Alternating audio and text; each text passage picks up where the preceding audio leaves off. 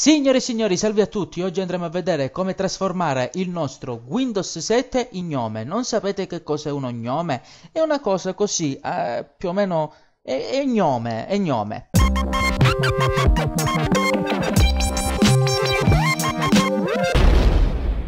Allora, non vi rimane altro che scendere sotto qui in descrizione troverete dei link a 32 bit o 64 bit online e offline. Una volta che avete scaricato il vostro file che vi serve, io scarico l'offline, clicchiamoci due volte e avviamo il processo di installazione. Una volta che è partito il processo di installazione premiamo avanti, avanti. Una volta che vuoi, vuoi che ti rompiamo il cazzo con altri software?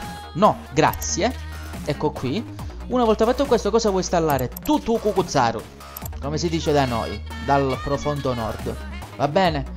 Una volta che abbiamo finito, una volta che è finito il processo di installazione, ci chiederà di riavviare il computer. Riavviate il computer e vediamo l'effetto. Ed eccoci qua, nello gnome, quello sempre base. Siamo nella pancia dello gnome, in poche dello gnomo, ecco.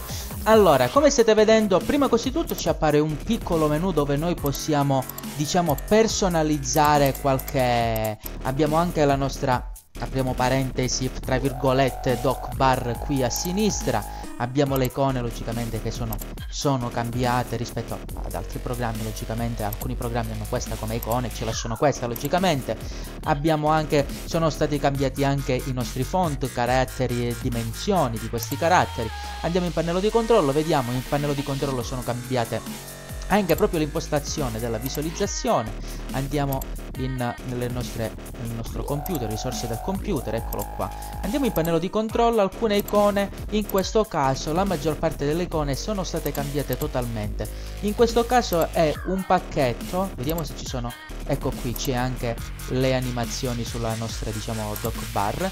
Come state vedendo ha cambiato molto profondamente il nostro sistema operativo, logicamente solo la parte grafica. Signori, io ho finito, vi ringrazio ancora del tempo che mi avete dedicato. Se volete domandarmi qualche cosa, qui c'è la descrizione con i link, poi ci sono i commenti e pedifico vari.